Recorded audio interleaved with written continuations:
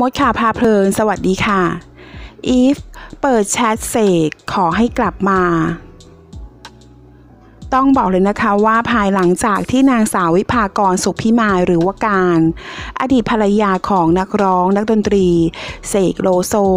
ได้มีการโพสต์ภาพของตนเองระหว่าง ร่วมกันทานข้าวกับอดีตสามี พร้อมด้วยนักแสดงหญิง แซนวิช ประภาดา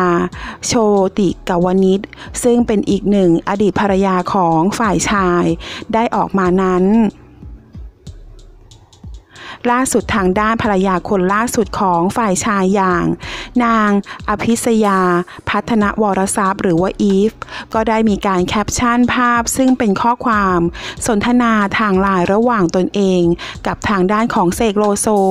ออกมาบ้างโดยในข้อความนั้นทางด้านของฝ่ายชายเอง ได้ขอร้องให้เธอกลับไปอยู่ที่บ้านอีกครั้ง โดยอีฟได้ระบุข้อความเอาไว้ว่า ก็ว่าจะไม่แล้วนะ Hashtag เหนื่อยไหมกับสิ่งที่เธอทำอยู่